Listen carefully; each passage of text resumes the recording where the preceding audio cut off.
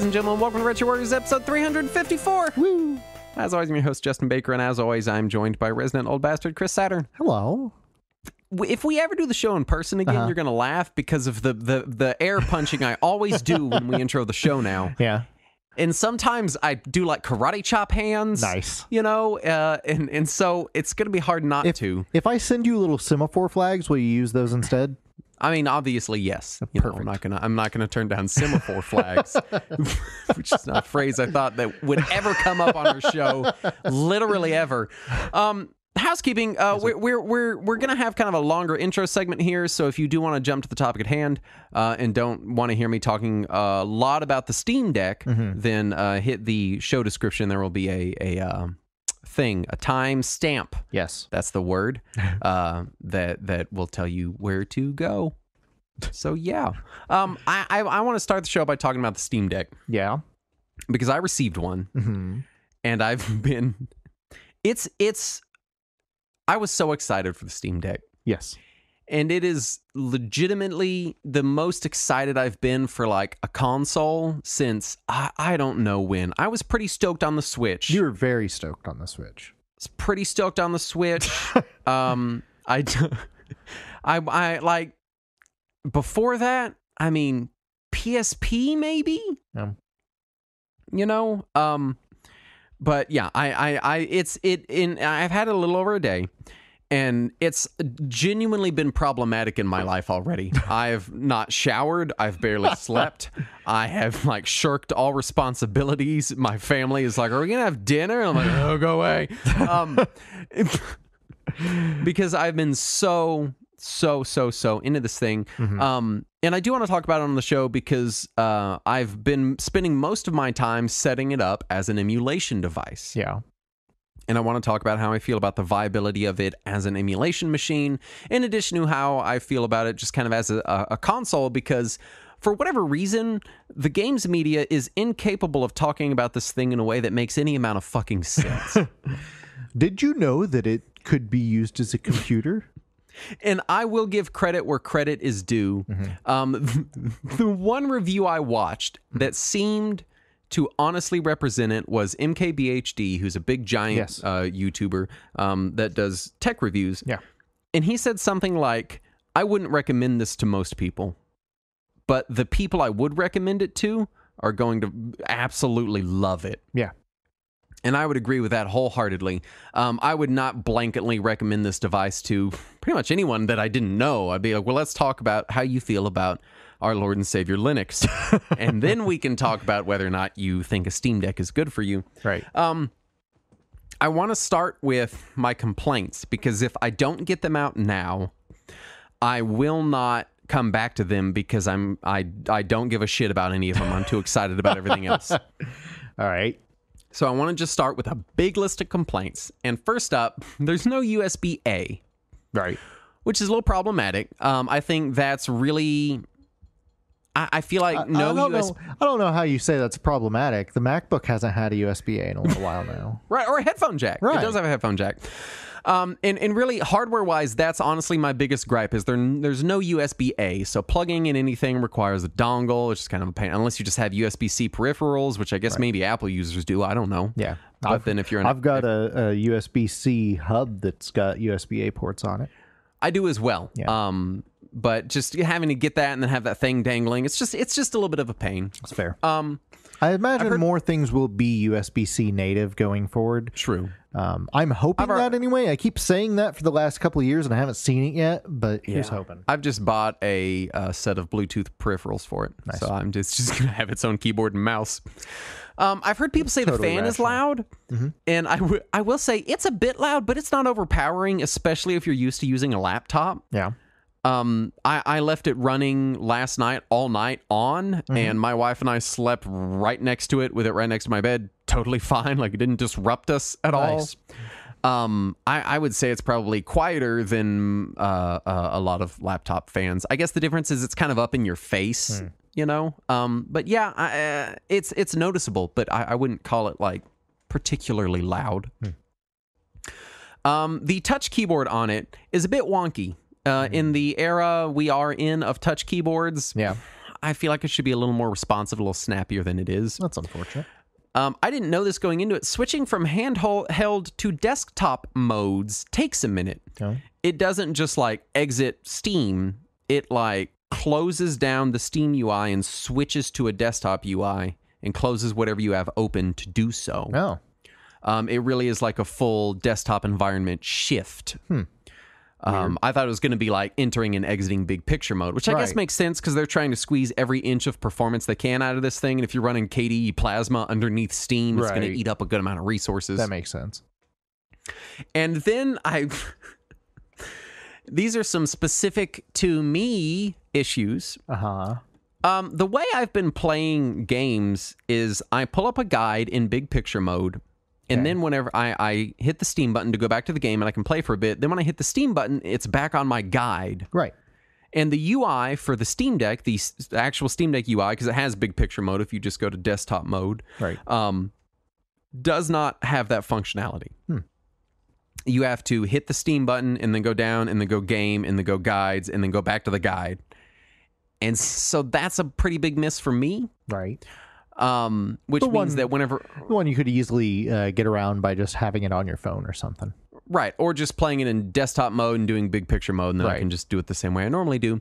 Um, USB C hub support has been spotty for me. Neither of my USB C hubs will output HDMI from the deck. Hmm. Um, so it is a little particular about uh, outputting HDMI.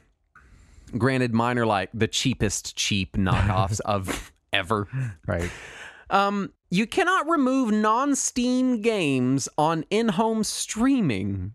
What? My desktop has all of my games from all of my launchers added to Steam Yeah. as non-Steam game links, Right. and I have in-home streaming set up. Right. So my Steam Deck shows all of those non-Steam game links Right. in my library because they're set up for streaming. Right. And I don't want them because streaming non-Steam games via Steam in-home streaming is kind of a spotty proposition Well, then why do you have them in your Steam library on your, your computer? because I play them on my computer. Well, the, And you, I- you can play them Steam. without launching Steam. But know? I don't want to do that, Saturn. I want it all in one place. um, and then finally, and this is this is um, probably my most annoying complaint before I get into all of the gushing and amazing stuff. uh-huh. There is no sleep or low power mode that allows downloads to continue. Oh, yeah, I did hear that in a review. Yeah. And of course, in my head, I'm like, well, it's a PC. When you put a PC to sleep, it doesn't keep downloading. Like, Right. that's just not how this hardware is built to work. So I don't know how they would have circumvented that. They would have to put in a third special mode that you turn on that you're like, hey, I want low power download mode. You mean like every Um, other console is done? Yeah. Yeah. Yeah, like every other console is done. Um, but what you can do is drop the TDP and underclock the GPU to the minimums while you leave it up, I guess. Um, really, I just disable auto sleep and I plug it in. I turned on all my downloads and I let them run. Uh, my my Steam Deck has not turned off until I had to record the show. Like it's just been on continuously for 36 hours. Sounds about right. So those are really all of my complaints. Now I want to get into the good stuff. Um, It The performance- games. It does play games. The performance overlay and performance options on the Steam Deck are insane. It doesn't matter what you're doing, whether it's a Steam game or not. You can hit the little uh, three dots button, and you can turn on varying levels of performance overlays. I think it's it uses a software called Mango. I think it's called. Um, and it gives you full specs on everything that's going on. It's got the TDP, temperature, your FPS, no matter what you're running and it's really great for benchmarking, adjusting settings. Because a lot of Steam, you know, it's it's a lower powered machine, so sometimes you're running a game and you're like, well, I want to turn down my settings to make this run better, but I only want to turn down the settings that actually make an impactful difference. Right. So you can leave that on and tweak video settings on the fly and see immediately how they're going to work. So you no Um, longer need Digital Foundry anymore. Basically, yeah. um, I do love being able to change the TDP. So, like, if I'm playing a super low spec game, I can turn the TDP all the way down and maximize battery life, which is just why doesn't everything have this? Why does why doesn't everything ever have this? Yeah. Um, the Manjaro Linux on Do you want to do you want to take a moment to uh, to spell out what TDP is for people who aren't Oh, major nerds? Um, uh, basically, it's it's um, the how much thermals. It, it's it's how it's the the ceiling for the thermals on your processor. It's it's it's how high it'll let it go. Um, basically, it's it's it makes it run lower and cooler, which takes less battery. Right. Linux on it is great. Manjaro with KDE Plasma, super snappy, Nice. super quick. Um, there is And you're already, not a plasma. You're not a KDE person.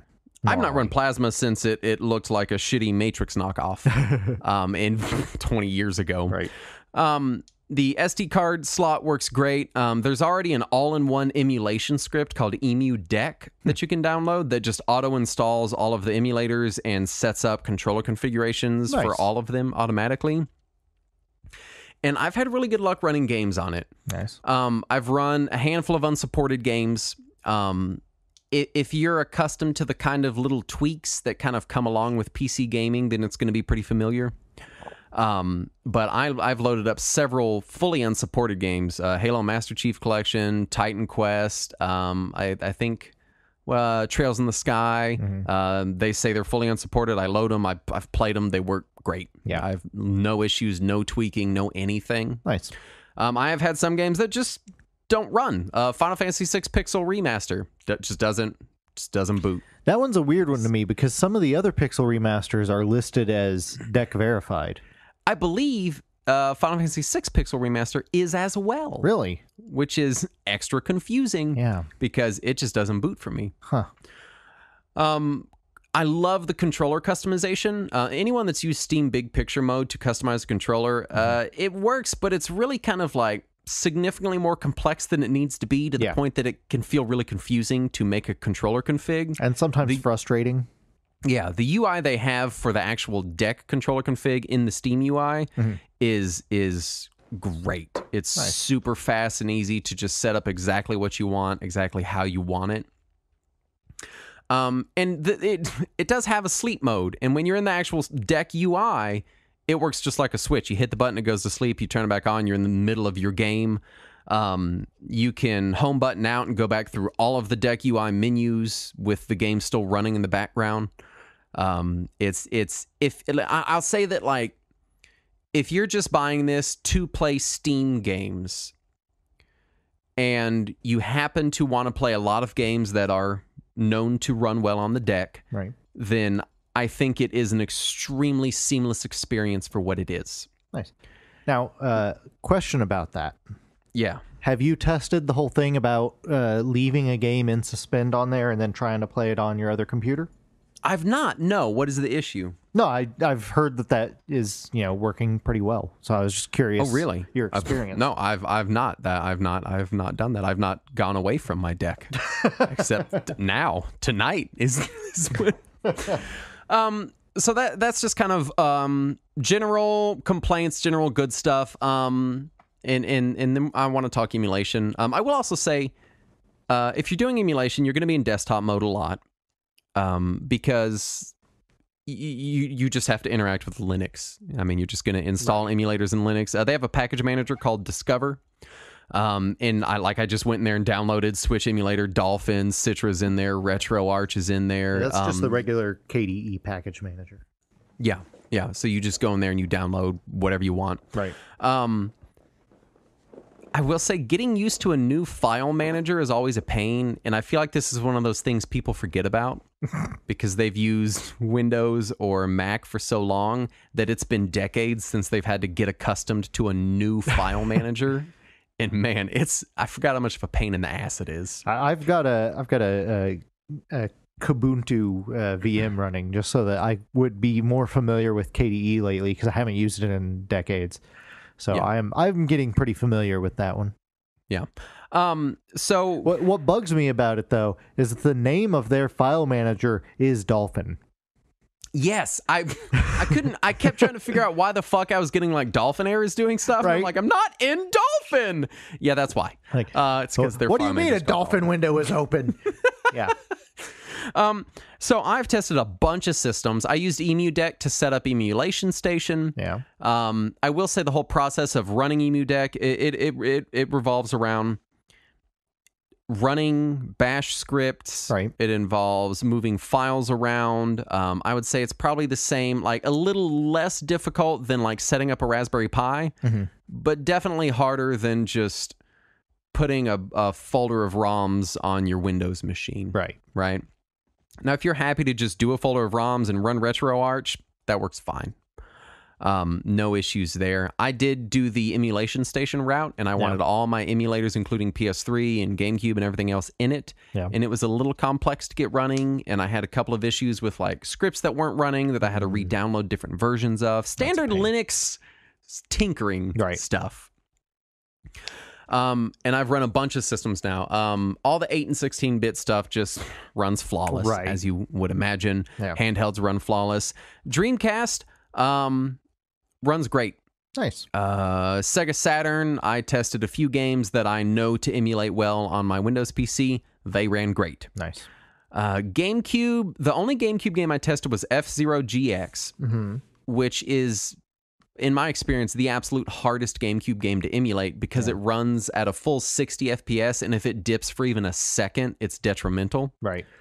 Um, and I did notice a couple of stutters, but it was very playable. And what that says to me is that virtually all other GameCube games are probably going to run fine in Dolphin on there. Nice. Uh, PS3 emulation. I ran 3D Dot Game Heroes, and it runs like a dream. Nice. I used Emu Deck to add it to my Steam library, complete with art and everything, and it just I just boot it straight from the Deck UI. And if you if I if if you had just handed me the Steam Deck and said, "Hey, play 3D Dot Game Heroes," I would not have even known it wasn't a Steam version of the game. Aside from all the button prompts. aside from the button prompts being wrong Right. obviously Yeah. yeah.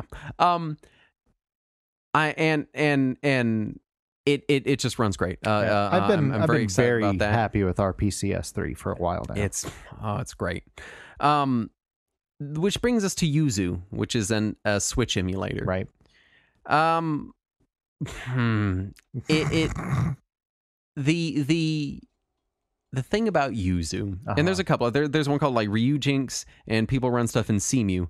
Um, but Yuzu is is I feel like it's the most popular one. It's the one that I have that, that I've learned how to work with. Mhm. Um, one, getting Switch emulation up and running is so easy. Yeah. I have a harder time getting Neo Geo running than I do Switch emulation. Weird. It is it is extremely easy. So all you need is one 12 kilobyte file, and then you can run retail games just fine. Hmm. And I tested a few games. I tested Fire Emblem Three Houses, uh, Kirby and the Forgotten Land, and Super Mario 3D World plus Bowser's Fury. And the only one that really ran great was um, Mario 3D World, and that's the only one that has a perfect rating as far as like how good it runs on Yuzu's compatibility website. Yeah.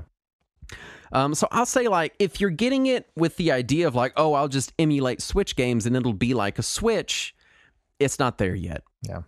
Um, I think it has the capability, but I think Yuzu's just too young. I think Switch emulation is just too immature, and I just think it's not really super duper an option yet. If only somebody made some other way to play Switch games on the go. If I know, I have no idea. I t- I told my wife, I was like, "Look, Kirby's running now. Granted, it's playable. You can play the game just fine, but it's just not running fantastic." You know, um, I was like, "Look, I can play Kirby on the go. I, don't- I, I don't have to buy a Switch now." she she uh, she rolled her eyes at that one. Yeah. Um, How many Switches are in your house? two, just Okay. two, just, right. just the two. Okay. Um, but all this to say that what I wanted the Steam Deck to be was a Linux computer that I could put all of my emulation stuff onto Yeah. For playing for the show. Yeah. Have it on one con- one convenient place, and and uh, use that for when we play games for the show. Because then I can hook it up to my um, TV, you know, via a dock. I can play with a controller. It's Right. compatible with everything, and it also happens to run all my Steam games. Um, as far as the experience of getting it there, it has been some work. Um, You can tell that a lot of the scripts and setups and software is still just a little immature. hmm Um, but I feel like this is one of those things where, like a year from now, it's going to be amazing. Well, let me ask you this: Yes, uh, How long till you think you accidentally break your kernel? I. Because we know, know I- how Linux tinkering works. I have stayed away from the command line. Uh huh. Um, I've Aside from out of- installing shell uh, bash scripts. Well, uh, yeah. All right. I've stayed away from console. Uh-huh. Um, everything that I can do via Discover, I have. Yeah. Um, and that seems to have helped a lot. Uh huh. Um, because I'm not doing anything too weird. I You haven't the end of the answered my question yet, by the way. I, you know, I don't know, man. All right. I, I, I will say that as far as, um, because normally when I spend 36 straight hours tinkering with Linux, it does get a little fucked. Yeah. By the time you're done, it no longer powers on. Um, but a lot of the things that you tinker with Linux, things like getting Samba shares set up appropriately, getting SD mounting set up appropriately, a lot of these little little things that usually in Linux you're like, oh, it doesn't quite work right. It doesn't mount to the right point. Oh, my Samba stuff is weird. I need to reconfigure my Samba daemon. I have- Whatever. I have to install NDIS wrapper for some reason, like Yes. it's 2003. All of that Yeah. stuff is already done and works. Right. Nice. and already is done and works specifically for your hardware. Totally fine out of the box. So a lot of the kind of uh, Linux tinkering you normally have to do with a new install does not exist. Nice. And that's a very bizarre experience being a longtime Linux user because norm- normally uh, Linux is never custom made for your hardware. Yeah. We It- that's not how Linux works. we we had ordered one custom Ubuntu machine from Dell. And uh, when it arrived and I powered it up and it was Ubuntu, but it was all working and specifically designed for that laptop and knew all of the hotkeys, I was like, oh, I don't know what's going on right now. Yeah, Bluetooth just works. Wi-Fi just Right. works. It just it just all, all the normal stuff you'd expect from a PC just works. So I'll say this: like, if you're if you've never used Linux, it, it'll still feel you might feel like it's kind of rough. You'd be like, this is kind of weird and rough, and I don't quite understand. If you're a Linux user, you're gonna be like, oh my god, this is the seamless Linux I've ever used in my life. Now, let This me ask incredible. you this. If you're Yeah. not a Linux user and you're just buying it to play Steam games and nothing else, What I would say Uh-huh. is look at your list of games. If a good amount of stuff you want to play is already deck verified, and you're just going to always stay in the deck UI, that's all you're going to ever be in, right? then I think it's a it's a buy. Uh, honestly, Nice. um, if, now, would you uh, would you still get the the full uh, uh, 256 gig model or 512, whatever the high end mo- model is, or would you say go with a smaller one and an SD card? Uh, I think it depends on the games you want to play. I, I would honestly like now that I have the SD card installed because I got the 512 with the screen and the Right, case and then you know all the fancies. Yeah. Um, I've got it stacked up with some pretty big games. I've got Witcher 3 on there. I've got No Man's Sky. I've got Halo Master Chief Collection with like four different games downloaded in Right. it. And I've got a 400 gig SD card that I want to say cost me 50 bucks. Yeah. Um, and I still have plenty of space. I got a couple hundred gigs of like ROMs and disk images and stuff like that. And I've still got space to spare. Now, that said, You didn't I put have- Doom 2016 on there immediately? I've not yet, no. Weird. I've not yet. That just no. seemed like one of those games that you would have put on there first. I will say that th- some of the features uh, that I didn't think I would care about, I care a lot about. Mm-hmm. Yeah? Like one, the trackpads are great. nice. Um, I'm starting to get used to using them in first-person shooter games because I think they're better than the than using the joysticks. And the joysticks themselves are very nice joysticks. Yeah. Also, the touch joysticks is something I thought I wouldn't give a shit about, and I do. Oh, what's I've used this? this. Uh, so it it knows when you're touching the joysticks; they're capacitive. Oh, okay. Weird. So in like, for example, Crimson Clover, Mm-hmm. uh, I made it so that if I'm touching the left joystick, it f- ra- rapid fires my weapon, Hmm. which is nice. I don't have to hold the weapon button down now. It took that away from me, and if I let go of the stick, it stops firing. Hmm. But why would you stop firing? Yeah.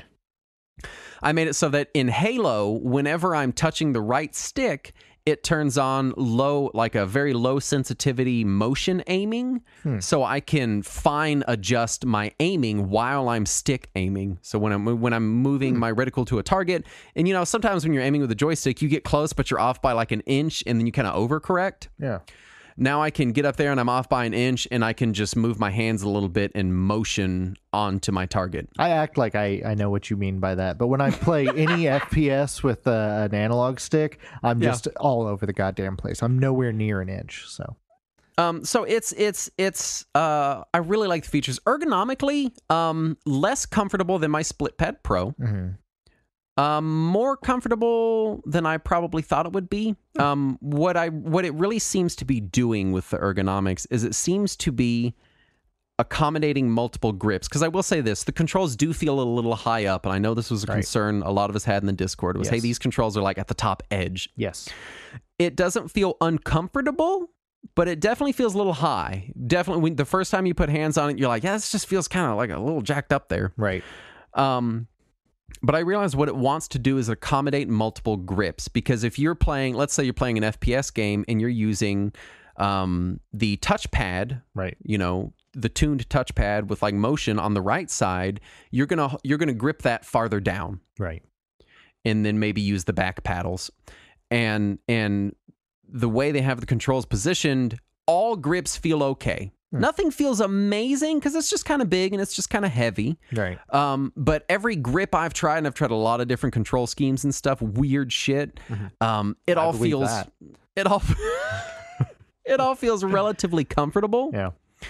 Um, which I think is kind of what they were going for. I would I would call it a win. Um, it is a little heavy. Yeah. Uh, size wise, it is almost identical to the size of my Split Pad Pro on my Switch, which is the only way I play my Switch. So size wise, it feels the same, but it's definitely definitely heavier. Yeah. And thicker Um, too, right? I think it's a little thicker. I mean, the controllers are thicker for Mm-hmm. sure.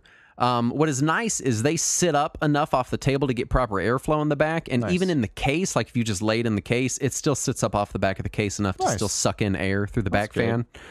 Um, but yeah, I, I mean, overall, I, I've had an amazing time with it.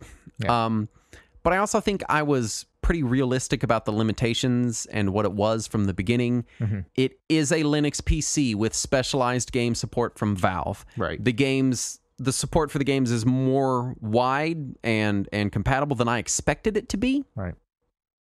Um, but it's not perfect. Yeah. And I think if you want it to be anything other than a Linux PC, then you either need to only play Steam Deck verified games in the Deck UI, or maybe, you know, uh, prepare to have some of your expectations not get met with it.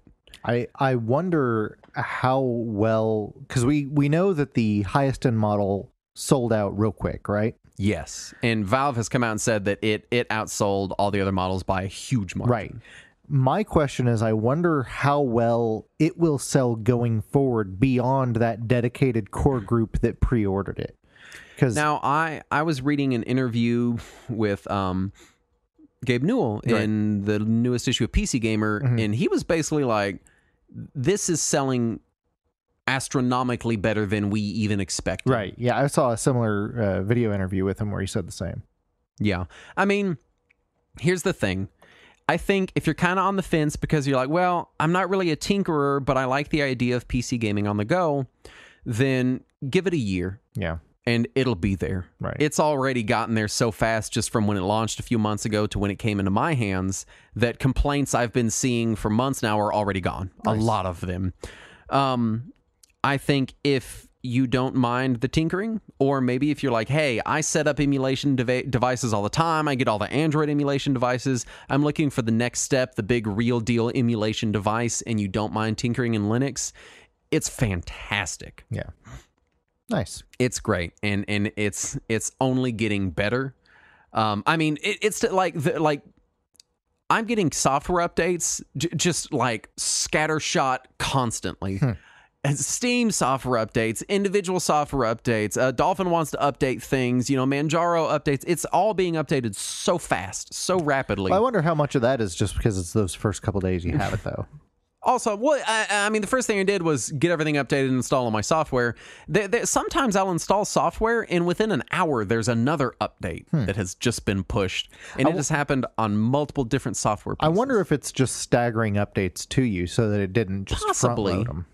Po- well, you know, then it shouldn't have front loaded as much as it did. Yeah. because it was a lot. It was a lot. Well, with your internet connection, any amount is a lot. Yeah, that's true. So I, I, I do think it's it's very compelling for me right now. I mean, really, I just want a PC that I can do emulation on that also does some some mild PC gaming. Um, and it it it delivers on that. It, Nice. It's exactly what I wanted it to be. Um, I you know I have my pain points with it, uh, but a lot of them are stuff where it's like, oh well, either this almost works, and I know someone will figure it out pretty soon because obviously they're working on it. Um, or it's one of those things that, like so many other Linux things, is just going to take more effort from me. Right.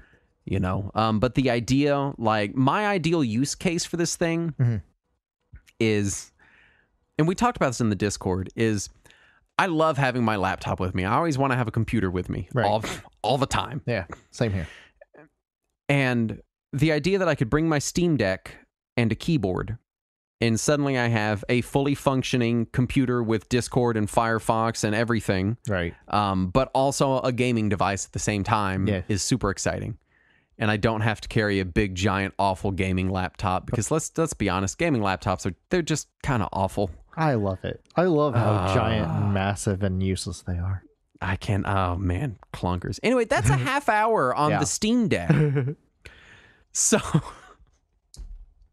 so hopefully that was interesting. Yeah, um, it, uh, I'm I'm it does- I'm like it does Yeah. solidify my my uh my it makes me feel better about the fact that I didn't jump in on Yeah. because I thought I- I, I- thought about it a lot and uh but honestly I just don't see a use case for me personally I don't yeah, I don't see one for you either. One, you don't love handhelds. I really don't uh two I especially you don't know, love heavy handhelds Yeah. Two, you don't mind tinkering to get something working, but Right. then you want it to work. yes You know. And three, you've already got many, many options within your home that Right. do everything you need. yeah So I yeah, uh, for someone like you, like if you're already like gaming at a gaming PC all day long, I I, I don't, uh, you know, I get it. You you're Right. already at a PC. right You know, for me, my PC is upstairs in the corner of my second story of my house. And I struggle because I don't want to be up there all the time, away Right. from my family and away from natural light and stuff. right Um, which is why I have Steam links all over my house. Yeah. So this is basically replacing this it's in-home the portable. Steam Link Yes, that Yeah. that run. I, oh, I will also say I tried XCloud in Yeah. Edge. yeah Um, runs okay. Does not see a controller, so Oh, that uh, can't figure that out. Ugh. But uh, we'll see. We'll see how that That's goes. And and I have not and do not plan to install Windows because after watching videos on it, performance appears to be worse Oof. in games on Windows, that's no good which is presumably maybe a driver issue or maybe I- Steam stuff is just yeah. optimized enough. I don't know. maybe I don't know. Anyway, that's my week. that's your you- day and a half what have you been doing? Yeah, really, a day and a half. What have you been doing, Saturn? So uh, mine's going to be much more brief. Um, so I, I've been playing uh, uh, Final Fantasy One on Windows Phone. Saturn. So while you've been experiencing the Steam Deck, Why? so they're shutting off the achievements for it in a month or so, and I decided that I want to get this one fucking achievement for Oh my for their stupid sliding puzzle in Final Fantasy One. You know, I do feel a little better because I feel like I get made fun of a lot of like, Justin, why do you fucking need this Yeah. extravagant thing? This this rope and pulley Rube Goldberg Well, computer this was free. situation you've I paid nothing for this. Okay, well, you, you like I rub that in.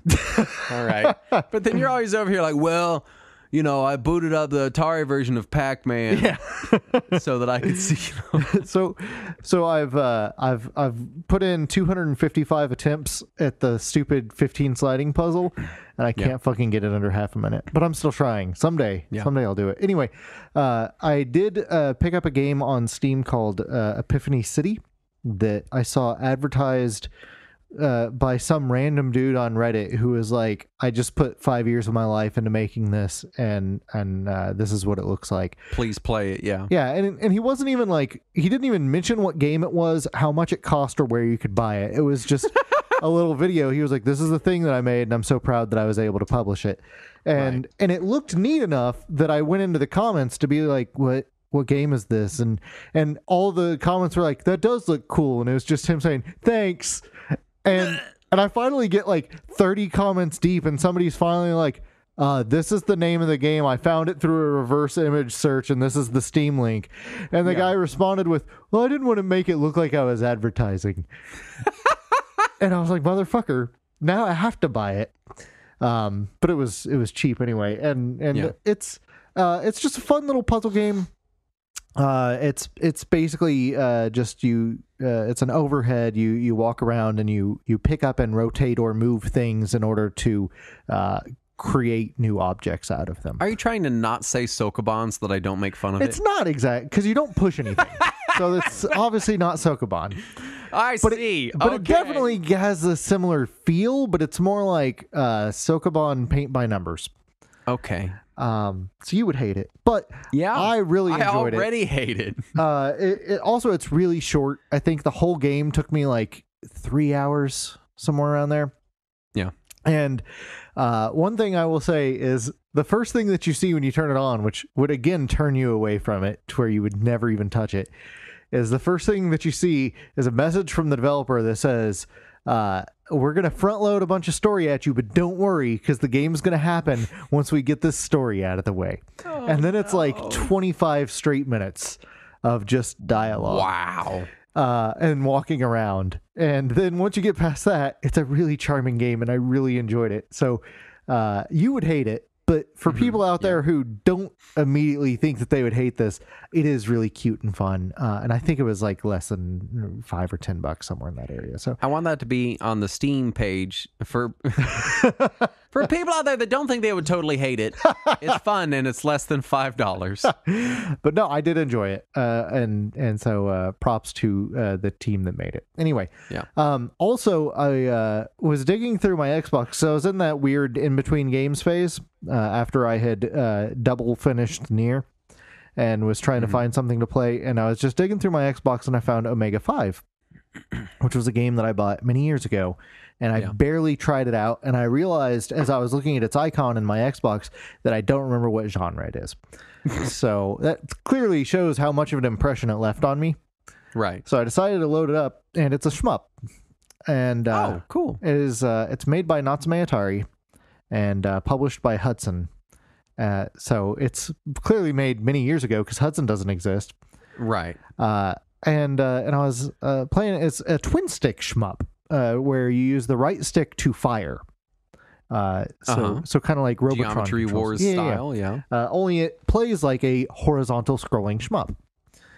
Um, Okay. you just happen to aim with the right analog stick and fire with the right analog stick. Mhm. Um, and you have a life bar, which is good because uh, some of the attacks are a little unfair that you can't see them very well because the screen is a little busy. Uh, but uh, but it was it was fun. Uh, it was uh, at first it felt very difficult, but once I actually was able to tell what was supposed to be a projectile, uh, I, I found that it wasn't too bad, and I was I was making some progress. And as I was playing it, I was like, maybe maybe other people would enjoy this, and I should recommend it. And then I looked it up, and it's been delisted for like two years. uh, so you can't buy it. So sorry if anybody wanted to try it. Sorry. I guess. love that you didn't lead with that information. you just talked it up, and then I'm like, oh yeah, that sounds kind of fun. Yeah. You know, you can't have it. No, no, it's So, gone. Yeah, You can pirate it, I guess. If you got a hacked 360, go go pirate it. But uh, if you want to play it on a Series X like I am, sucks to suck. Let's let's do the news. All right. Uh, first up, Sony, Lego, and Epic Games have announced a new metaverse for kids. Well, that's the worst sentence I've ever heard. Uh, they I, they have a name for it. It's called Predatortopia. it's gonna be great. Or Predatopia for short. or, or Club Penguin too. Oh, God. Whatever. I don't know who the fuck Uh, not only thinks we want more metaverse, but thinks we want it for our children. God. I don't even want my kid to go on YouTube, much less a meta. If my if my daughter was like, "Daddy, can I go on the metaverse?" I'd be like, "You can never go in the metaverse." What if what if the people behind Lego and Fortnite made it though? that makes me want it less. that just lets me know that it's going to be uh, full of advertisements and expensive as fuck. Yeah. That's what that means. Yeah. Uh, Square Enix trademarks Tactics Ogre Reborn. Please, please be a remake with that new 2D, Or oh yeah. 3D engine the, thing. the HD 2D. Ah, please be that. Uh, however, you had just said uh, predatory and expensive, and then immediately said Square Enix, so that leads me to think that it's probably just that. because that is- Yeah. that does seem more their style now. They they do seem to be more and more making games that are for people who don't play games to have fun. Was that how they phrased it? Yeah, they don't don't have fun with it. Yeah. Uh, did you, did you Play to earn. did you see the the headline this morning about Babylon's Fall had less than ten simultaneous users or something? The idea that Square Enix could publish a game and it has less than 10 users is just asinine to me. Yeah. It's they're one of the biggest And- publishers in the and, world. and it's developed by by Platinum. uh, so the the gameplay should at least be fun. I read an article somewhere that was like, here are other platinum games you can play that Yeah. aren't this one. Uh, New prints of 3DS games are showing up in stores in Europe, Yeah. so get your hands on them while you can. It's Right. probably the last last dip into that well. Seriously. Uh, Chrono Cross, Final Fantasy VI, and other PS1 games are being reported as expired by PlayStation Vita and PlayStation 3 systems due to error with timestamps. Oh, wow, this timestamp error is causing systems to not work properly. That's never happened to Sony. Yeah. Sounds it- so strange. right. Yeah. It says that the games expired uh, in 1969. Oh, Yeah. well, then, obviously, they're very expired. yes. So Don't, don't play those. right. Uh, oh, man. They're ripe. GameStop is canceling Amico pre orders. No. Oh, God. Tommy Tallarico. No. Oh, my amigo. I was going to play Cornhole. Every time I forget that Cornhole is a game on it, and every time is it funny. well, Cornhole's great. I just wish I could play it on the couch. well, you can if you move it inside, or I could buy an Intellivision Amico. Yeah, yeah, I could move it inside, but what if I wanted to play it with an iPod? All right, I feel like you're just making dumb shit up now because you don't want to play cornhole with But me. I don't want to throw an iPod because then it'll break. I really do, and I want to have a user interface that looks like it was made to show off a fake Windows operating system that was never created in the early 2000s. and I want a video game composer in expensive jeans to sell it to me, and then we can play cornhole. What if the user interface looked like Microsoft Bob if it was made in 2003? Oh, Amico. Oh, it's dying so slow. Advance Wars 1 Plus 2 Reboot Camp is a bad name and is released to exactly one user due to a preload error. I didn't realize how bad that name was, so I said it out loud again. Advance Wars 1 Plus 2 Reboot Camp.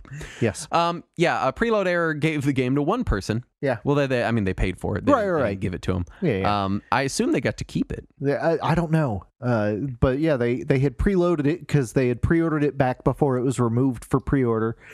And uh, when the original release, well, the second original release date passed, it happened to unlock on their system. How nice and, for them. And that person has two switches, and they said it only unlocked on the one of them and not the other. Weird. Yeah. Um, Steam Deck coverage shows that gaming journalists have no idea what PCs are Yeah. or how they function. Yeah. Um, ETA Prime on YouTube managed to get 4K 60 output by connecting a GPU, a desktop GPU, to an M.2 PCIe slot Yeah. inside the deck. Yeah. And every outlet has covered it. Right. All of them. Yeah. Even though they seem to have no fucking idea that, of course, you can do that Right. you sh- you probably don't want to because you have to have an external power supply and graphics card Right. connected to it. Yes. and it is no and, longer and a string of converters to plug it into a M.2 slot. Steam Deck news coverage has been just abysmal. Yeah, it's been hilarious. I mean, just bad. Yeah, it's I it's, s- I saw- it's proven saw to me how little all of these outlets actually know about what they're covering. I saw one outlet. Uh, that was like how to install Windows, and it was like don't because it voids your warranty. And I'm like, is that why Valve provides Windows drivers? Yeah. Like, what are you talking about? Yeah. It is a computer. Yeah. Um, Sony and Nintendo are changing their policies regarding online subscriptions in reaction to European laws, which Yeah. makes it the first European law they've ever respected. Well, it, Uh, this so was that's nice. This is what three, four weeks after Microsoft did this, Yep. uh, and now Sony and Nintendo. uh, Did you see how they're doing it though? No, I knew that it was the thing where if you've not used a thing, it won't auto renew. Right. So Sony is changing it to where it will automatically turn off auto renew, which is basically the same way that Microsoft is doing it. Also, uh, in the past, uh, in all regions, if you paid for additional PlayStation Plus, it would turn on auto renew, regardless of whether or not you told it to do so. Right. and now it will stop doing that at least in Europe, and maybe in other regions they haven't decided. Uh, Nintendo, the only change they are doing is they are not turning it on by default. it, it's I, Yeah, Nintendo needs to hire like a business manager. no, no. You know, like someone to just like come in and be like, "Hey, this is how you run a fucking business." Nintendo. No, no, they're not going to do Uh, that. Uh, interesting fact. Um, I can uh, uh, run the Super Mario 3D All Stars on my Steam Deck, uh, even though Nintendo won't sell me a copy. It's true.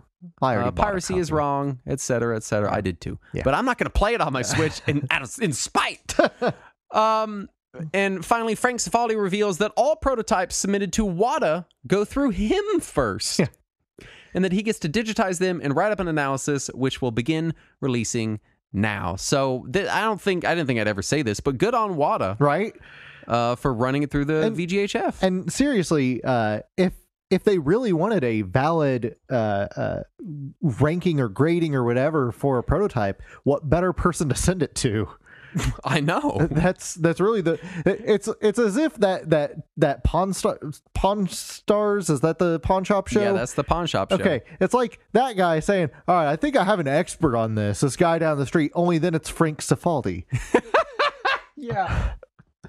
Um, but I, I love the, that the that- protos that, that- they did show off already are really neat looking. Yeah, Uh, I'm excited to see what comes out of it. I really want to see what's on that Silent Hill 2 prototype. I'm so excited Mm-hmm. about that. Uh, and that brings us to the topic at hand. A mere 46 minutes into the show, Yeah. you didn't Good. think we'd ever make it, and here we are, listener. we did. We we made it. Anyway, that's the topic. show. Yeah, see you later. Uh, we're doing play this, not that. Yes. uh, which is not the name of a game show, but it should be. It should actually, Um, yeah. And and and the the idea of play this not that is one that I've brought up many times on After Hours, and we've never made it a show, but now we will, and we have the padding of the Steam Deck so that we don't feel pressured. Um, basically, it's it's uh, um, You know, the sad thing is now that we are actually starting the episode, now that we are seconds away from actually playing it, I've Yeah. I've realized uh, uh, would it work better as don't play this, play that? um, man, uh, I don't know. I like play this not that. All right. It feels snappier, right? Okay. Snappier. Let's let's workshop this right now. um, so yeah, stop playing all those lame, played out popular games and play these instead. Yeah. That's that's what we're doing here. um, the, the, uh, the, this is not just uh, these are better games list, much Right. as it is just a pile of alternatives. Some of them are just more modern or complete experiences in the same vein of the original title, while others are just great experiences that offer more of what you probably already loved. Yeah, and, a lot of it is just uh, there's a good chance that if it is that game that you love, you have played so much of it that you could recite it to everybody, and maybe you just want something new that feels like that, but that you don't already know back and forth. Right. Right. Um, so I want to start with um, my first pick, which is play Titan Quest, not Diablo. Yeah, Um, Titan Quest. Uh, I, I I got Titan Quest when it came out in 2006. yeah, Um, I felt like I was the only person that was excited about it because I was really into like uh, Greek mythology at the time. and also you were the only person really excited about it. Yeah, and I came out and I was like, hell yes, Titan Quest. Mhm. And I bought it, and for years I was like, hey man, Diablo's great, but have you played Titan Quest? Uh, it's fantastic. So it came out in 06 on um, Windows. It was published by uh, THQ, developed by Iron Lore Entertainment. Mhm. You might have heard of it in recent years for a few reasons. One of them being that Grim Dawn used the same engine. Hmm. And what I love about Titan Quest is the way you build your character in it is is it's a little slower, but it's much more granular. You feel like you have a lot more options. Um, and it's it's Greek myth. It's Diablo, but Greek. It's just Yeah. a lot of fun. It's really well done. Um, it, it's it's not quite as at least it wasn't back then as polished feeling as something like Diablo 2 with expansions Mhm. but it's just a really good action RPG, and it came out in a time where there, for some reason, were not a ton of them, and I still feel like it's kind of an underserved genre. Um, the the genre of Diablo clones. I mean, at any given time, there's two or three puttering around, uh, which is bizarre to me because it's such a extremely popular game. Diablo is. I mean. Um, but what's wonderful about Titan Quest is they're still working on it.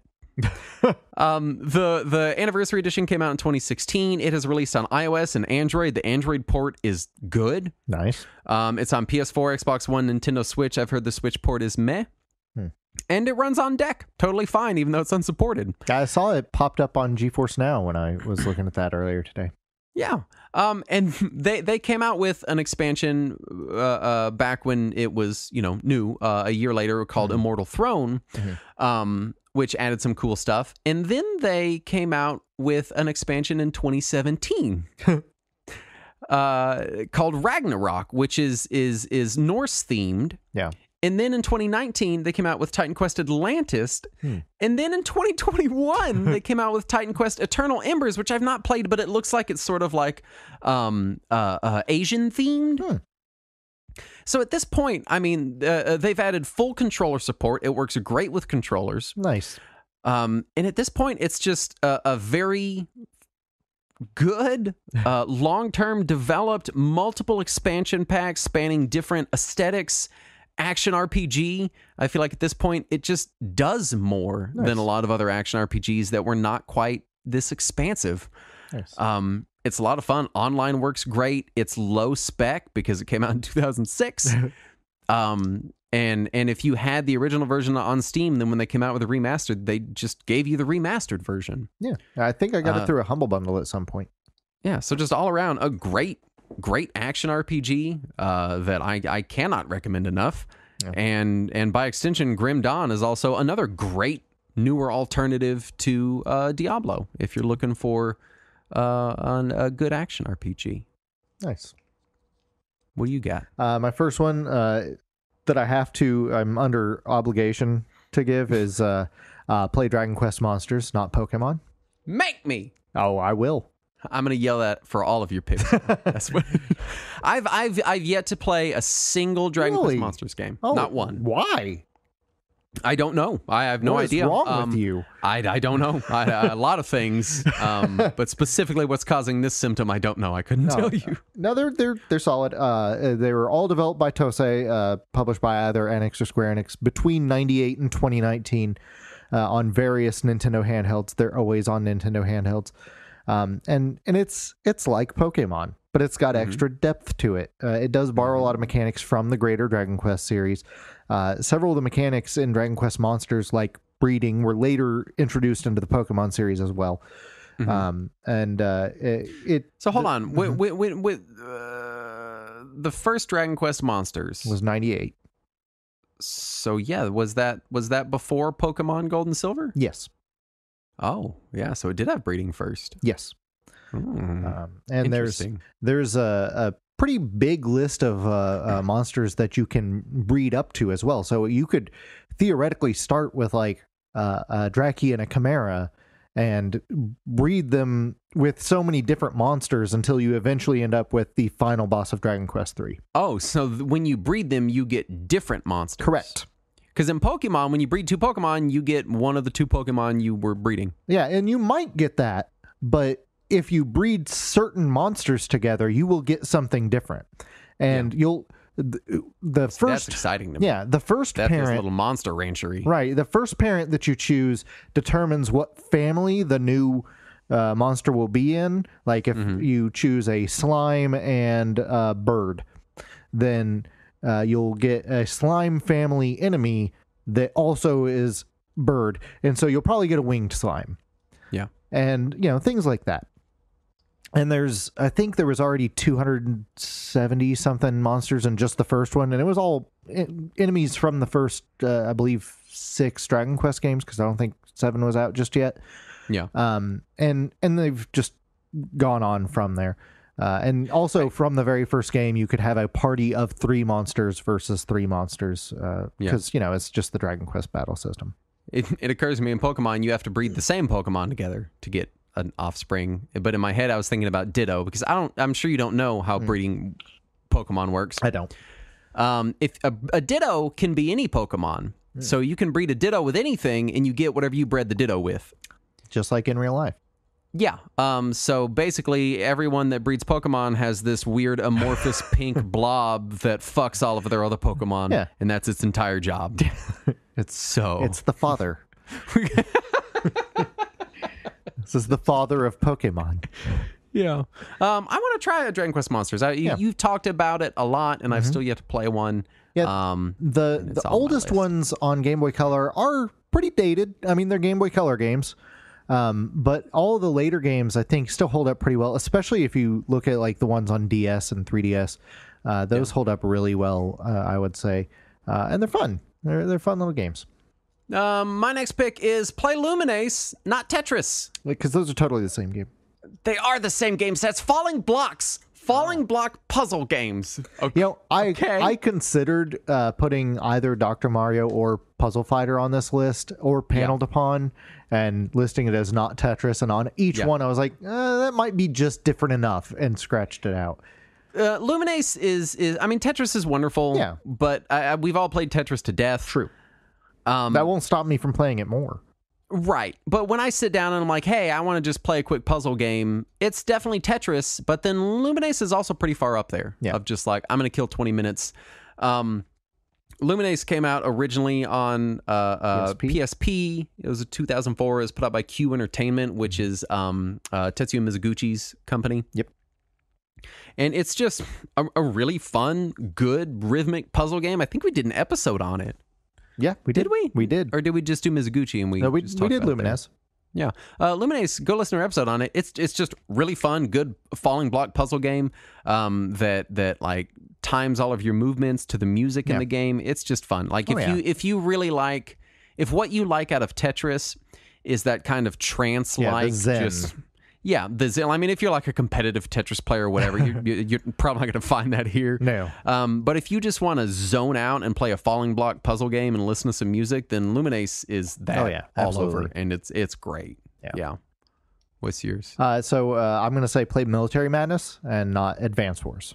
Which Sell me on military madness so because I've struggled. really okay. So Yeah, um, I find it very hard. It can be. Um, it depends on which one you're playing because there's been several of them. Um, so the the first one, Obviously, the WiiWare one. right? Oh no! oh no! Um, so yeah, the first one was uh, developed and published by Hudson on the TurboGrafx back in 1989, uh, and there were sequels throughout the 90s and a couple in the 2000s, like the WiiWare one. Um, Just the way you said it. This is so much hatred in your the WiiWare. actually, one. Actually, if you want the WiiWare one, it's still on Xbox. It was not delisted like Omega Five was. I think I own it on Xbox and Wii. So yeah, it's it's basically Advance Wars in the future on a hex grid is the Sold. the short version. Um, so it the the game borrowed heavily from the the first Famicom Wars games way back before there was Advance Wars, um, and uh, the earliest missions are probably harder than the rest of the game Mhm. because it doesn't it doesn't give you the ability to gain any additional troops in those first missions. So you're just stuck Yeah. with a limited number of units. So you kind of have to do the the same pitfall that Advance Wars falls in where you have to go the way that they kind of intended or at least close to it or you will get overrun. Right. Um so unfortunately what should be the tutorial ends up being the hardest part of the game. Mhm. Um, but it does it, it gets into a groove uh, as long as you're not playing uh, the the PS1 game, which never gets into a groove. Yeah. Um, but uh, apparently they did pretty well at it because Nintendo hired them to make the later Game Boy game, uh, Game Boy Wars games, uh, because of their experience making uh, Nectaris. Um, so uh, if if you haven't played, uh, it, it's, a lot of the Military Madness games are also called Nectaris, by the way. Uh, if you haven't played any of them yet, and you are a big Advance Wars fan, I do say at least try uh, Military Madness or Nectaris or one of them, uh, because it is it feels just a little different. It takes itself more seriously than Advance Wars, which is my biggest complaint with it. Yeah, I think I I played a bit of the TG16 one, and Mm-hmm. it felt a little dry. Yeah, that's that's my biggest complaint. Is I would like a little more of the whimsy that Advance Wars has.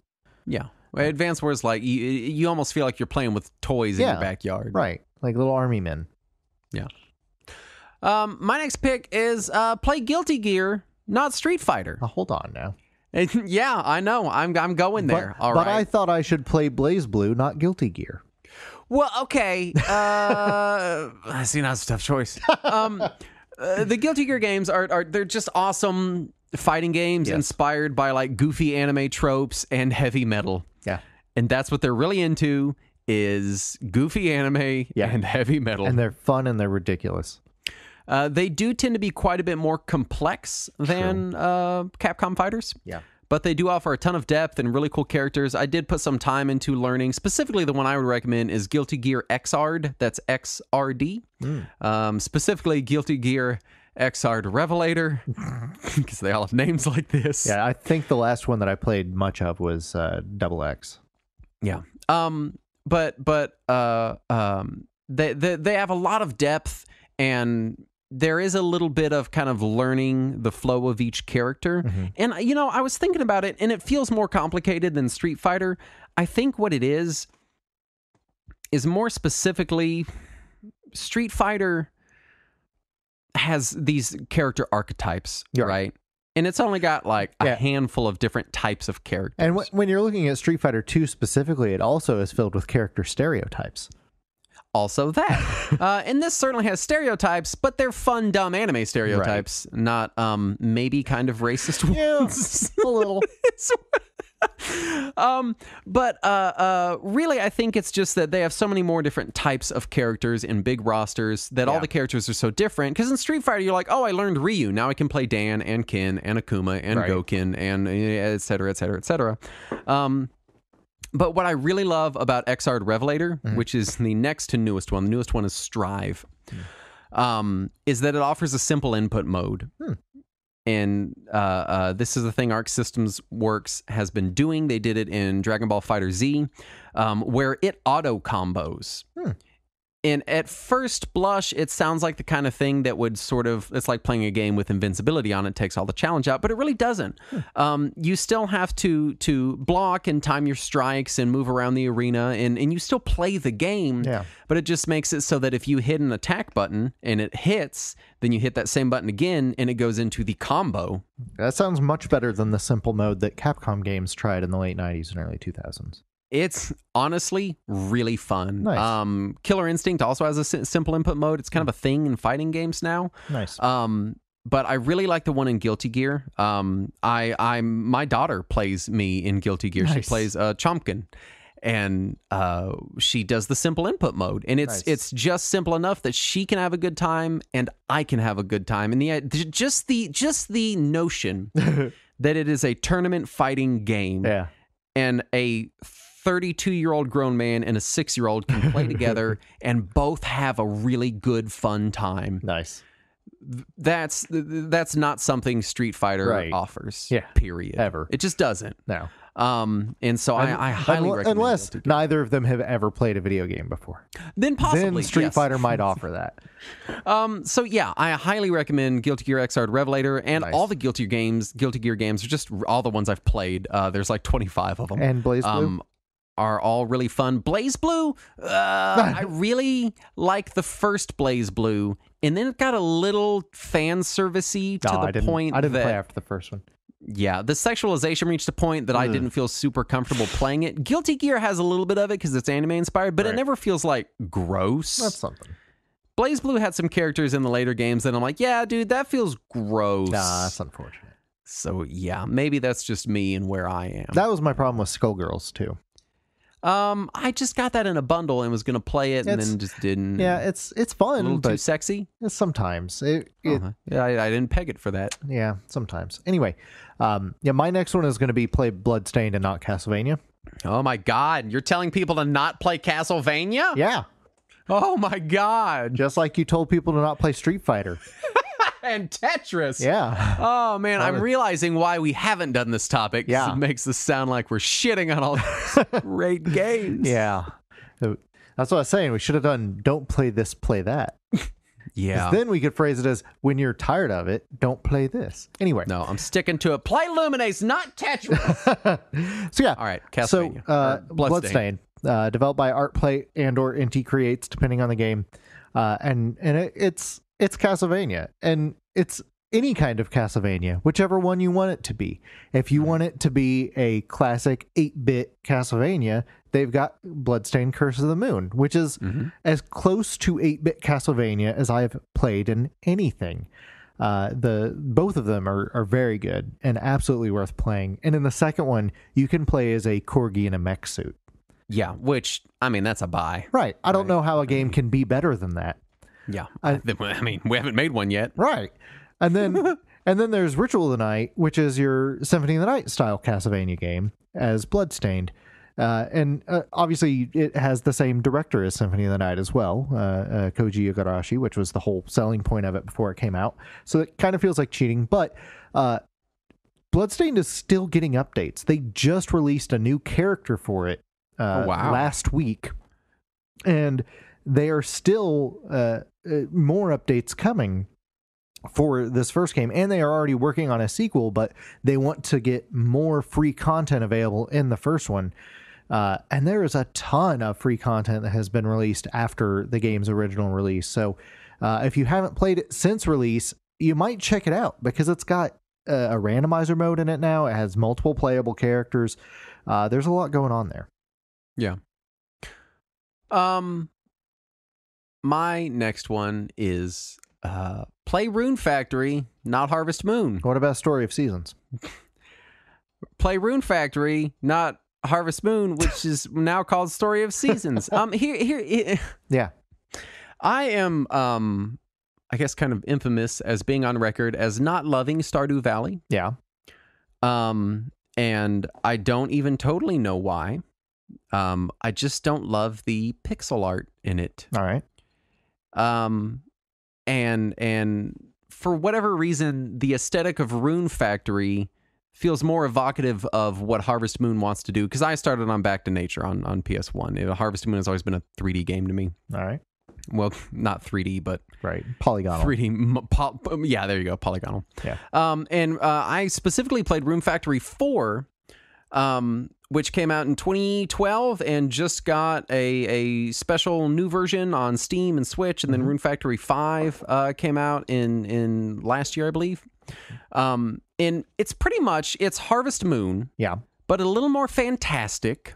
Uh, like you talk to a dragon regularly, right you know. a lot more fantasy Um, except they put an entire really fun RPG in it. yeah So Harvest Moon um, has always kind of had like mining and stuff, Mm-hmm. and a lot of the Harvest Moon kind of inspired games uh, uh, kind of took that. Like Stardew Valley has a mine that you can go in, go down different levels, and it's kind of dungeony, and you fight monsters. Right. Um, Rune Factory is just straight up like no, it's a full RPG. We've Yeah. got levels, we've got bosses, we've got gear that you that you take with you, um, and it just marries that with uh, planting turnips.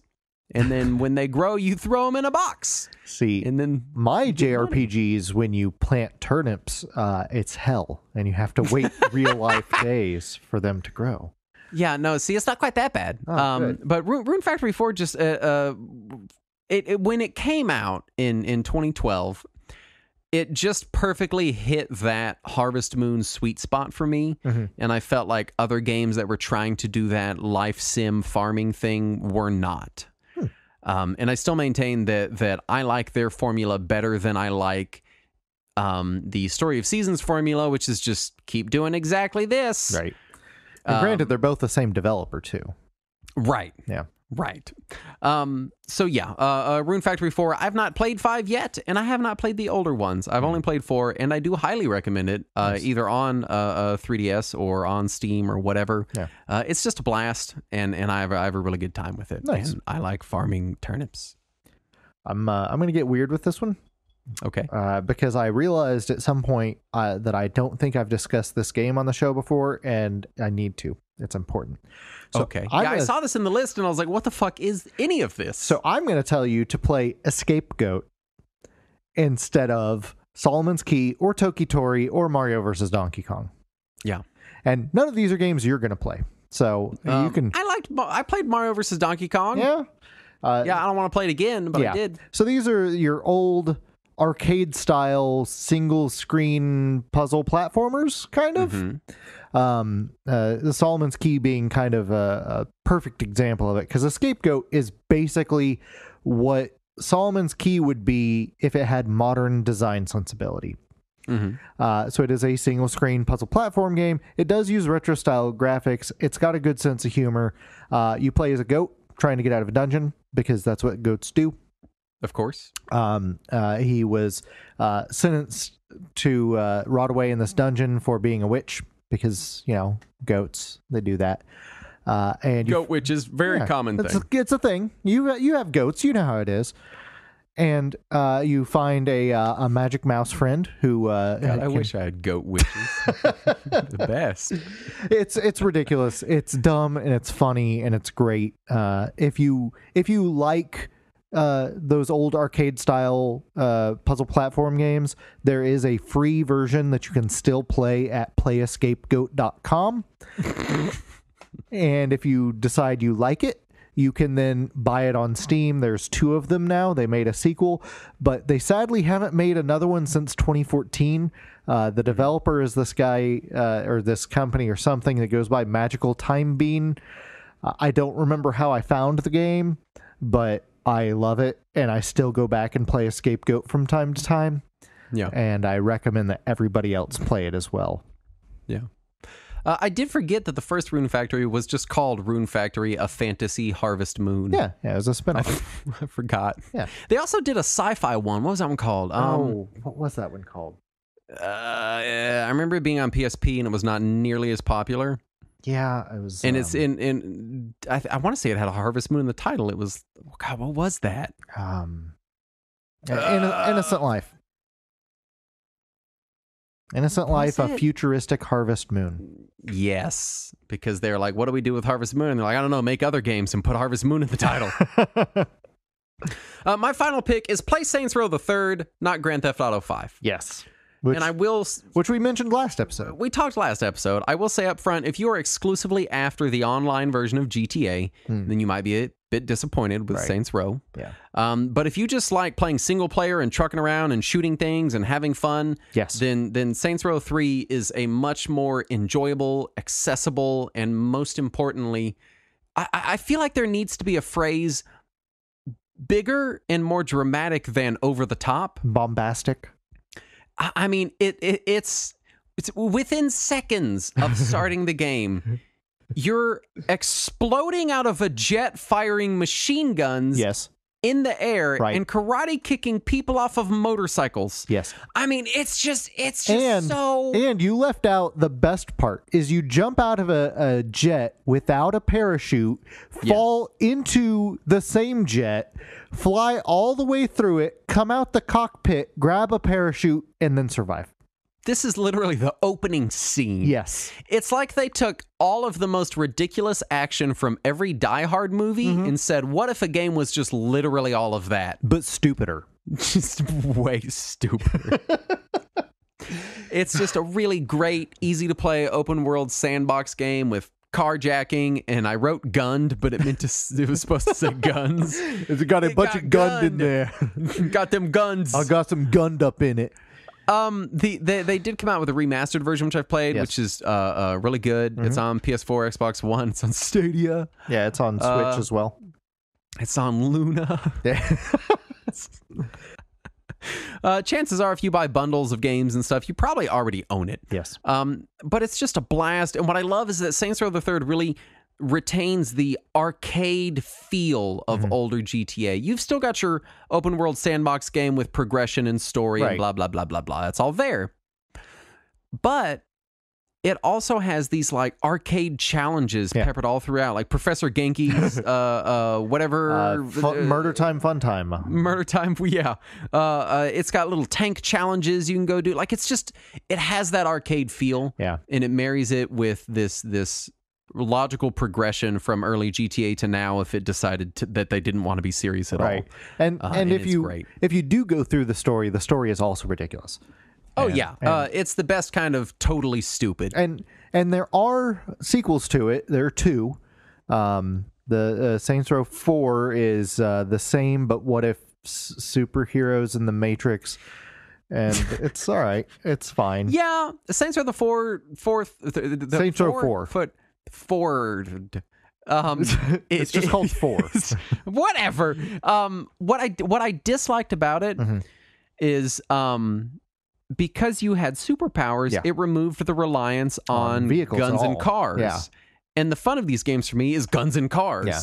And then there was uh, Gat Out of Hell, Yeah. which is uh, uh, Saints Row the third, but in hell, and also you have um, supernatural powers. Mhm. So it's it's basically Saints Row four, but uh, instead of technological powers, it's it's more supernatural powers, and Yeah. uh, uh, Yeah.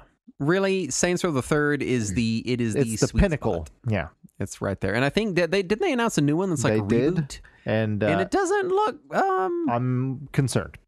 Ah, yeah. Just the f- I'm a little concerned. I'm a little, a little nervous about this Yeah. one. Yeah. Uh, yeah, I'm a little worried that it's. Uh, I'm worried know. it's going to take know. itself too seriously because the first two Saints Rows also kind of took themselves a little too seriously. Oh, kind of. Yeah. The first two Saints Rows were crazy serious. Yeah, Uh, and then they just had us so that when you got hit, you ragdolled everywhere, so Right. it was fucking funny. yeah. But yeah, was Saints Row the second Saints Row the one where you could do insurance scams? Uh, the third has that. Okay, maybe it's maybe it's in both. I just I remember it being in the second It one. It might also be in the second one. I might have not gotten that far in the second one. Uh, but in the third, you definitely can do the insurance scams. And I was, I got really good at making sure that I would get hit and then bounce high enough that I could just bounce off the roofs of like four different cars, and then they would all get charged for it. It was great. Yeah. Anyway. Uh, what's your final pick? Uh, I'm gonna go with Liquid Kids. Uh, Excuse me? which is also a game I have not mentioned enough on this show. So play Liquid Kids, not New Zealand Story or Rainbow Islands, but I feel also like we're getting this new version of Saturn with these weird games I've never heard about. I every now and then I'm I just think, you know, I haven't talked about that on the show. What dumb excuse can I come up with to talk about that on the show? Yeah. And uh, I finally have an excuse to talk about Liquid Kids. So, um, if you've not played Rainbow Islands or New Zealand Story, go play those as well. So, uh, th- this was uh, developed and published by Taito back in 1990. So, if you haven't played uh, New Zealand Story or Rainbow Islands, uh, basically Taito started making these weird arcade platformers that are all the same game, but with a different gimmick. And Rainbow Islands was you attack enemies with rainbows, and then Parasol Stars was you attack enemies with parasols. You don't say. And the New Zealand story uh, was instead you're a kiwi with a bow and arrow. and so it got weird. And then you get to Liquid Kids, where you play a platypus that the game for some reason refers to as a hippopotamus. But he is a platypus. You can tell, you can look at him. It's a platypus. Were they on drugs at Taito? yes. And his name is Hipopo, and he has to save his girlfriend, and he does so by throwing water at things. So that's your weapon now. Instead of is Hipopo the platypus? Yes, but they keep saying that he's a hippopotamus. They're wrong. You Maybe Look he at just him. identifies as a hippopotamus. he might. I don't. being I didn't ask him. You know, I- Uh, but if you look at him, he's a platypus, uh, and he throws bubbles of water at things, and that's that's the game. You throw water at things, and they die, and it sounds dumb, but it's adorable and it's fun, and all of those Taito platformers are just dumb, silly, arcadey platformer fun. Uh, and this is one of them, and it does it well. And it's the last one that they made. So, uh, it, one, I don't think it gets as much attention as the others, but two, I think it's made better than the others. Like, I think they had finally gotten the engine to where it had just enough depth that it was a little more of a game, but not so much that it's like a, a, console platform experience. It's not a Mario or a Mega Man. It's still that arcadey style where it's short stages. Uh, it feels like it's trying to push score at you, even though it doesn't do anything. There's constantly free score items raining from the sky, just like in Bubble Bobble. So uh, it's it's right, but silly. that's how I get my dopamine hit Saturn. I gotta pick 'em Exactly. up. There's it's just constantly throwing candy at you, and it's it's dumb and it's silly and it's great. we're coming up on the end of the show, so I, I can derail us. Um, Yeah. My daughter just spent the last week and a half at school Yeah. learning about exclusively hippopotamuses. Oh. No other animal. I thought it was like an animal week and we'll learn about these animals. No, no, no, no, no, no, no. Just hippos. Well, They I painted a giant hippo. They wrote a story about hippos. They made hippo masks. They made Nice. hippo dioramas. Nice. Just literally hippo. And I'm like, why did these? Why do six year olds need this much hippo knowledge? she knows everything about hippos. now your six year old is an expert on hippos. You should show her a picture of Hipopo, and she will tell you that's not what a hippopotamus looks like. Oh, she will definitely tell me. Yes. she's very well. She's an expert. Uh, one other. Quick honorable mention I'll mention, just because uh, I probably should have put it in the proper show, is uh, Neutopia. If you haven't played Neutopia and you really like the very first Legend of Zelda, uh, Neutopia is that. Uh, just Oh man, slightly I was weaker. put Neutopia in there. yeah. and I forgot. I'm glad you mentioned that. Yes. Yeah. Uh, do we have any other quick mentions? Um, Grim Dawn is a good alternative to Diablo. I, I've Um, been told that Metal Slug is a good alternative to Contra. I don't know that they're that similar, but uh, I don't. I don't know why you would play Contra when Metal Slug is on the table. Right. I just I'm confused by that entire sentence. So a, a Um, lot of the ones that I thought of, I was like, well, that's so obvious. Certainly, we've probably covered this a thousand times. Yeah, yeah. This was kind of a tough topic. Yeah. I, I liked doing it. Yes. Um, but yeah, it was a little. Uh, I'm just glad I got a chance to talk about Escape Goat and Liquid Kids and liquid kids. Which makes no. s- Our small hippopotamus, our baby hippopotamus, is called kids. I don't know. Our You should ask your daughter. Kids. Let's go wake her up. We'll get her on the show. hey, tell me about hippos. Um. That'll be the bonus content for this episode. Uh. Anyway, uh, we we did also kind of want to put in a, a sort of uh, uh call to action. yeah.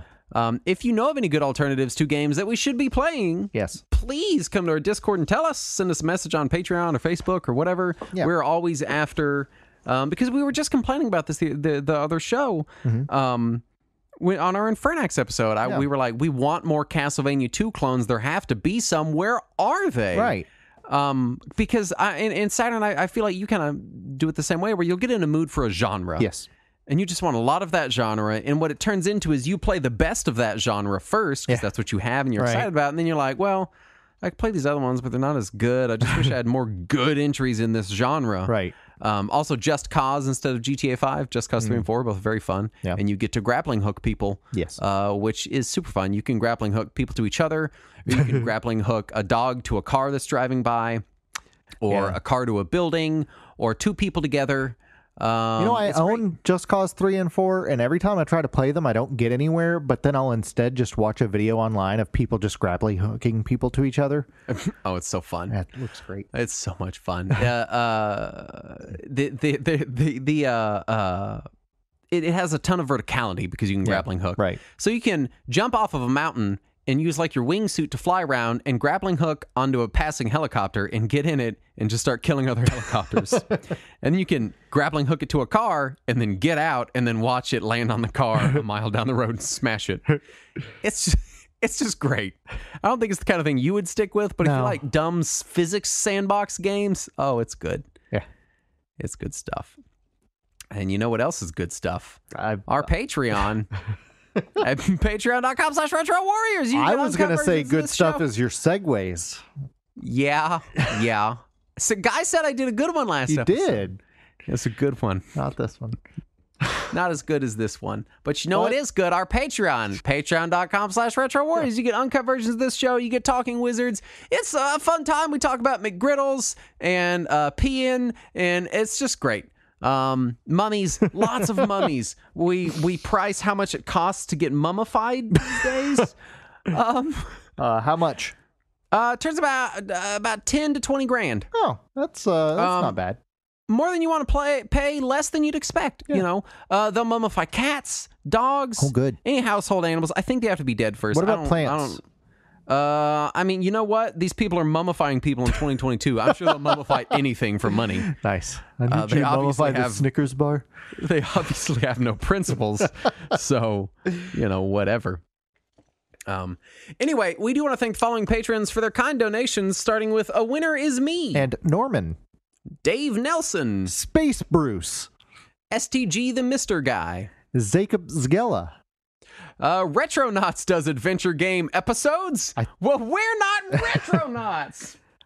uh, Millie's Homemade Ice Cream is the best ever, Burger Champ and Harry Pry. are all the patrons we want to thank for their kind donations, and we want to thank you, uh, potential future patron, for your potential future donation, or for your potential future rating and reviewing of the show on anything. I don't know. I don't even read them anymore, but I know they help. um, like every now, I'll go check them like once every two or three months because we only get one or two at a time. Yeah. And then you see that So- guy doesn't like Altered Beast still. So if you if you so mad if you if you do leave a review, tell me so I can go read it. 'Cause Yes. We don't we don't get a lot in, so like I'd like to read them, but I quit Yes. checking it because it's like I don't we, we don't get very many. Right. Um, so uh, please let us know, and you can join us in Discord where we talk about um, Everything all the time. Everything, all of the time, uh, every day, Yeah. constantly. Uh, today I was talking about how some uh, coworker of mine that I've never met that lives on another continent randomly sent me a gif of a baby dancing. and then you doxed him. You told us all his not. first name and said he lived in India. True. Yes. So anyone could go find him now. Yeah. Anyone could find that one guy with that very common name. Anyway, thank you so much for listening. We'll be back next week. And as always, Let, Let us, us cling, cling together.